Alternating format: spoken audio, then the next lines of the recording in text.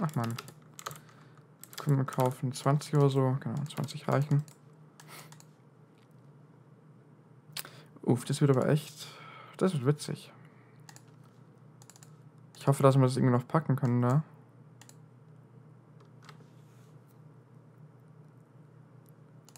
Plus 7. 25. Ja, das wird lustig. Das wird lustig, das wird lustig.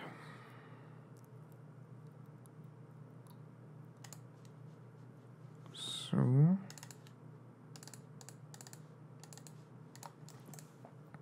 Plus 7, super. Komm, mach das Ding auch noch plus 7, dann bin ich happy. Hä? What the fuck? Ach, wow. Alles klar. Plus 7, machen wir gleich plus 8. Okay. So, Effekt von plus 7 ist, ich glaube, irgendwie genauso hoch. Glaube ich, 1% mehr Attack oder so. ja, irgendwie so in eine Richtung. Ähm, probieren wir es nochmal.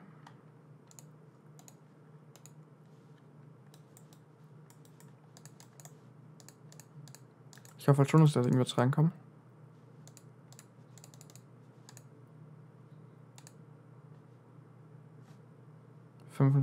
wir haben halt immer noch nicht genug Scheiße. Wobei es mich gerade exakt ein bisschen irritiert, dass ich da jetzt gar nicht rein... Also, dass halt irgendwas mit deaktiviert steht.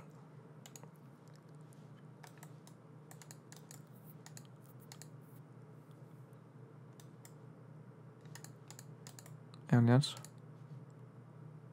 Deactivated. Ja, aber was heißt das deaktiviert? Ich hoffe, es ist einfach nur irgendwie beschissen beschrieben, weil wenn es halt wirklich komplett deaktiviert wäre aus was weiß ich, irgendwelchen Gründen, wäre es natürlich schon wieder ziemlich uncool. Aber gut. Naja, ich würde sagen, dann leveln wir einfach ein bisschen.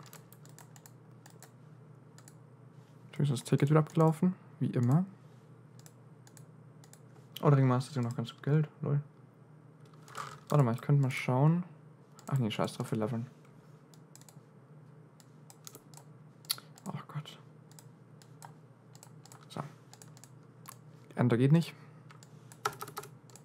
Also, ja, gut. Ach Gott. Flive. Flive, flive, flive. So, so, so, so. Und da geht das Geld auch dahin. Ja, ich muss dringend mal äh, hier 130 machen. Und auch der Ringmaster müsste eigentlich dringend 130 werden.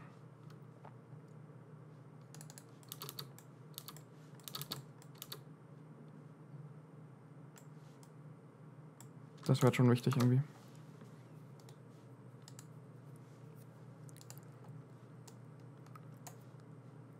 Also letztens ausgelacht, irgendwie, weil ich ja schon Krypto verkauft habe. Und da meinten die, oder meinten viele so, oh, das ist doch gerade am Anfang und so. Und ich habe so gesagt, so ja, vielleicht sind wir gerade am Anfang und so, ich habe keine Ahnung. Ähm, und also halt ein bisschen Background. Ähm, ich bin halt auch viel unterwegs und auf so ja, Krypto-YouTube-Channeln und äh, äh, teilt auch Twitter und was weiß ich halt. Ähm, so querfeld ein einfach. Und naja, da meinten die halt irgendwie so, ja, ist halt voll dumm von dir und äh, wirst halt voll viel Geld verlieren oder halt nicht äh, äh, an Gewinn machen dann quasi. Also verlieren dann natürlich nicht, aber ihr wisst, was ich meine. Und ähm, habe ich dann so ein bisschen erklärt, so ja, habe halt eben, wie gesagt, viel investiert und ich habe halt ziemlich viel Gewinn gemacht und so. Und halt alles top, alles super. Ich bin damit happy, so ja, ich habe halt, äh, also ich habe trotzdem schon viel gemacht, das waren glaube ich 80 oder über 80 Prozent, die ich gemacht habe. Oder? Sogar über 80 Prozent? 90 Prozent? Weiß ich gar nicht mehr genau. Ähm, und habe schon gesagt, ich bin happy, weil vielleicht geht halt der Kurs runter, vielleicht geht halt auch rauf. Keine Ahnung, weiß ich nicht. Und das konnten halt viele überhaupt nicht verstehen, warum ich das halt, warum ich nicht einfach warte, warum ich halt schon verkauft habe. Aber das gewissermaßen Lustige ist es eigentlich. Also ich keine XP kriege. Ach so, da ist nicht eine Party drin. Ach nee, ich hab nicht mehr Party-Skills. Oh. Sad life. Naja, ähm, konnte ihn, wie gesagt, gar nicht verstehen und so. Habe ich das ihnen ein bisschen erklärt. Und naja, jetzt geht der Krypto aktuell schon ziemlich, ziemlich runter. Ähm, also was heißt ziemlich? Halt, ja, wir sind schon ein bisschen, wir sind schon ein bisschen unten. Also, sind aktuell, wo ist Bitcoin momentan? 63k. Bedenkt, der, äh, das Hoch war bei 73k.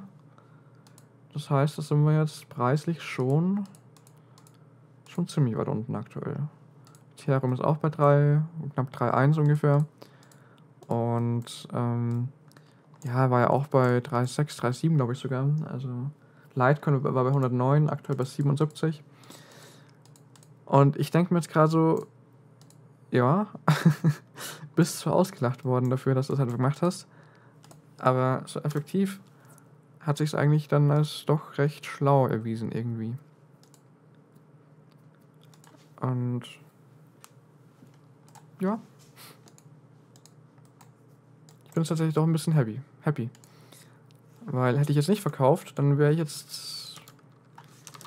Ja, dann wäre ich jetzt nicht so happy. Dann wäre jetzt äh, wirklich. Dann wäre ich, glaube ich, mad. Dann wäre ich echt mad. Und so kann ich jetzt sagen, so, ja, okay, vielleicht, vielleicht geht der Kurs auf 100k. Ja, vielleicht habe ich Tausende oder zigtausende Euro verloren. Warte mal, wären es zigtausende? Nee, ich glaube nicht. Ähm, aber halt, wie gesagt, tausende Euro definitiv. Und ich bin dann voll angepisst und sage dann so, oh, hätte ich bloß nicht verkauft und so. Das stimmt schon. Aber das Ding ist, mittlerweile bin ich echt so, so passiv geworden, dass ich sage, wenn ich einen Gewinn gemacht habe, einen guten Gewinn, und wenn ich sage, okay, es ist gerade eine, eine Phase, wo es, wo es, wo es so 50-50 ist, ob es höher geht oder niedriger geht, dann sage ich einfach so, ja, okay, ich verkaufe. Weil ganz im Ernst, ich, ich habe ich hab gewonnen. Ja, ich habe es durchgespielt. ähm, ich meine, ich habe meinen Gewinn gemacht.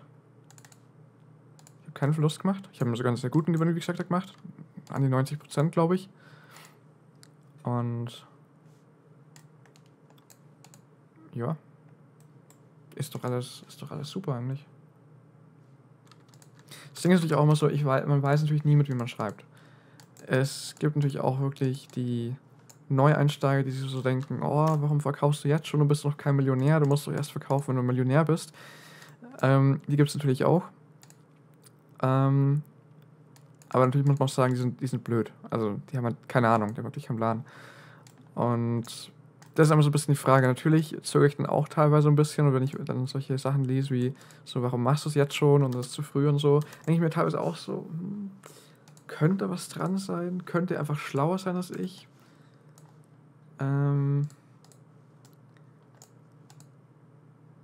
ja, das ist, geht mir schon ein bisschen durch den Kopf, aber ähm, ja, das Ding ist, ich meine rein statistisch, 76% aller Kryptoanleger verlieren Geld. So, ich bin keiner von den 76 Prozent. Ähm, was schreibt jemand? Fuck, I can't get in, Rage Quit. Ähm, die Chance, wenn man auf jemanden trifft, der halt so gar keine Ahnung hat, ist, glaube ich, halt relativ groß. Und ist natürlich immer so, wenn man halt irgendwas tradet. Es gibt halt immer die Leute, die immer alles besser wissen. Und ja, ich glaube auch wirklich so, wenn ihr im Traden seid, ich, also ich höre auch gar nicht mehr so auf die anderen wahrscheinlich. Also ich, ich glaube, es ist das Beste.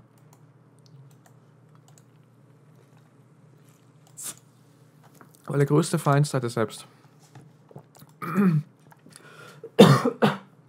Oder besser gesagt, oh Gott.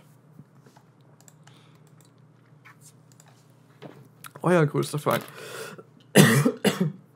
Oh Gott, oh Gott, oh Gott. Ja, reden und trinken ist eine super Idee. Ah ähm, euer größter Feind seid ihr selbst, weil die Sache ist, ich glaube, der größte Feind ist Greed. Und Greed entsteht im Kopf. Und äh, wenn ihr sagt, ich bin greedy, ich will mehr und mehr und mehr und mehr, mir reichen 1000 nicht okay, jetzt habe ich 2000, die reichen mir auch nicht, ich will jetzt 3000, heute mit 3000, das könnten wir auch 5000 voll machen. Ich glaube, das ist wirklich der größte Fehler, den man machen kann. Und ja, dementsprechend ist es einfach nur sinnvoll, das nicht zu tun. Nicht greedy zu sein und zu verkaufen, wenn es wenn es gut ist, wenn, es gut läuft. Wenn man sagen kann, yo, jetzt habe ich irgendwie, keine Ahnung, drei Monatslöhne gemacht. Oder vielleicht ein, ja, ein halbes, einen halben Jahreslohn. Oder vielleicht sogar mal einen Jahreslohn oder so. Keine Ahnung. Ich meine, jeder handelt ja mit anderen Beträgen. Und ich glaube, in so einer Dimension muss man denken und rechnen. Also wenn jetzt jemand 10.000 investiert hat und er holt dann raus drei Monats, äh, Monatslöhne raus, also effektiv einen Gewinn von 60 bis 100 Prozent irgendwo, je nach Lohn halt, ähm, ganz im Ernst, dann verkaufen. Ja, weg damit. Ich meine, es sind drei Monatslöhne. Und wenn es runtergeht, hat er halt wirklich super mad auf euch selbst. Und deswegen, ja, wenn eine Chance habt zu verkaufen, weg damit. Das ist mittlerweile äh, echt so ein bisschen meine, meine Devise irgendwie. Also außer man, man, man haut halt irgendwie auf einen Ledger drauf oder so und will es einfach Langzeit hodeln und ja. Kann man auch machen. Ist auch eine sehr gute und valide Methode. Ähm, absolut. Aber muss man auch sich so ein bisschen im Hinterkopf behalten. Ähm, ja. Kann halt auch schief gehen. Äh, alles kann immer schief gehen. Ich meine, Krypto ist generell halt ähm, schon, äh, ja, schon sehr volatil und so.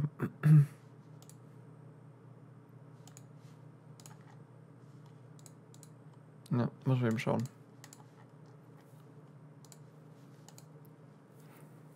Wie schaut die XP eigentlich aus? 0,24. Karte ist leider nicht voll. Schirm leider aktuell auch noch keins. Hm. Ja, Geldtropfen sind auch so ein bisschen. Ein bisschen unterdurchschnittlich leider.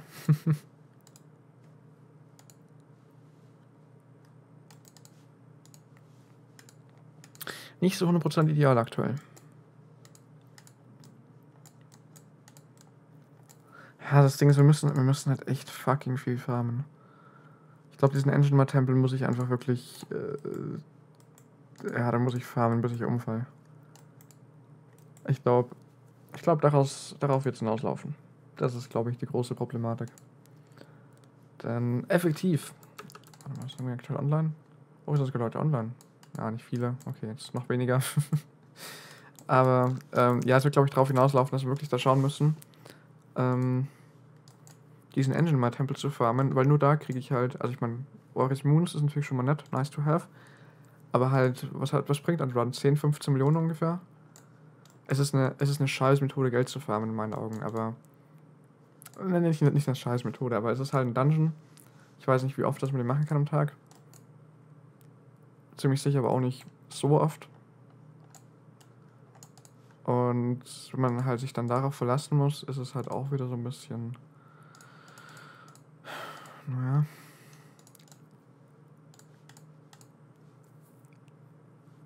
Hm. Hm, hm, hm. Warum sind eigentlich die Kartentrops so unglaublich beschissen? Also unglaublich beschissen äh, prinzipiell und, und vor allem einfach mal ungleich verteilt. Ich meine, ich hatte bisher null Firecards gedroppt, aber dafür irgendwie 31 Windkarten. Oder habe ich die geschenkt bekommen? Aber selbst wenn, wenn schon, ich meine, die anderen Karten, die sind ja auch, das ist auch ein Witz.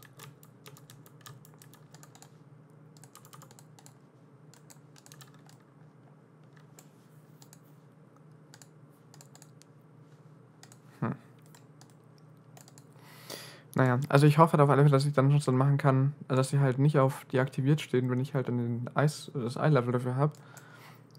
Ähm ja, ich denke halt, das äh, wäre, glaube ich, wichtig.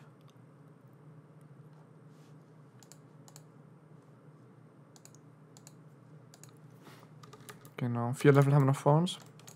Sagt nicht der Ringmaster aktuell, das sagt. Sagt, ich habe kein Cheer für die nächsten 26 Minuten.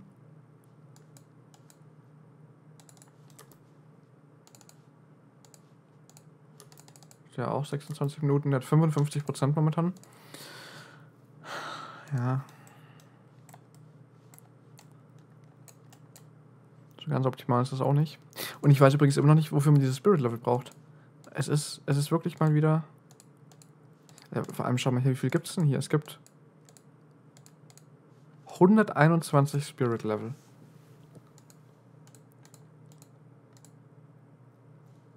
Und da steht ja nicht dabei, was die bringen. Was ist das eigentlich für ein Ding? Arcadia Domain? Hm.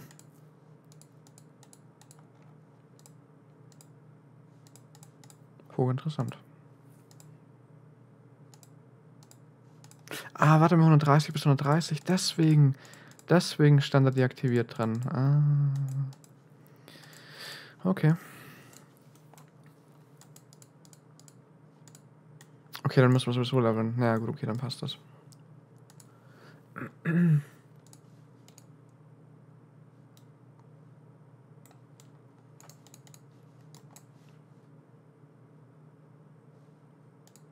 Ja, das wird, glaube ich, schon. Dann kriegen wir es, glaube ich, hin.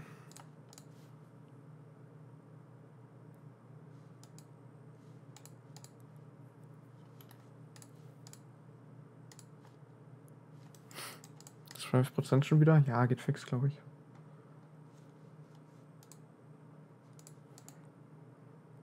XP sind dabei.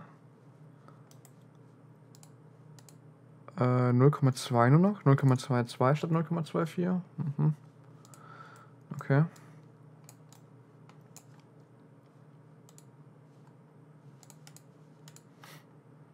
Das Ganze ist ein bisschen uncool.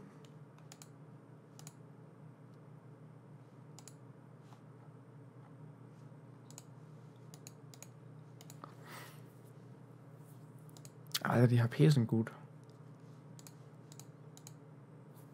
Die HP, die werden langsam richtig gut. Also die gefallen mir schon ein bisschen. Naja, ähm, ich würde erstmal die Folge beenden. War jetzt auf alle Fälle heute mal wieder ein bisschen. Es war lehrreich, aber jetzt nicht in der Regel oder nicht wirklich. Ähm, was soll ich sagen? Ähm, nicht wirklich produktiv zumindest. Ich meine, gut, wir haben ein Level Up gemacht, das ist nett. Und zwar ist zumindest, dass ich 130 sein muss und wir wissen jetzt, was wir farmen wollen in der Zukunft. Ja, das glaube ich schon. Ist auch ein bisschen was wert, glaube ich. Naja, danke fürs Zuschauen.